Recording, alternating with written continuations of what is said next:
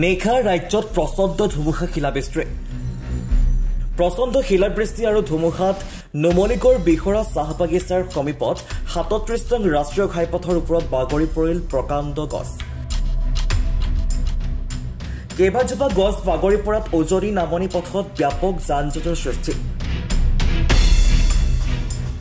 বোকাখাট আৰক্ষী প্ৰশাসন আৰু বন বিভাগৰ লোক উপস্থিত হৈ পৰিস্থিতি নিয়ন্ত্ৰণলৈ অনাৰ চেষ্টা অব্যাহত ৰাখিছে।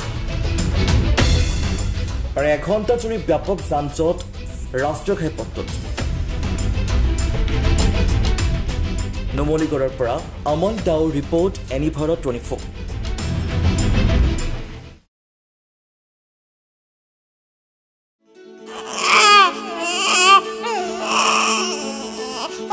অভিনন্দন আপোনাৰ এজনী ছোৱালী জন্ম হৈছে।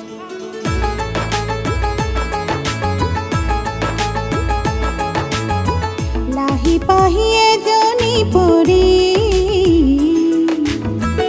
আহিলে ঘৰখন উজলি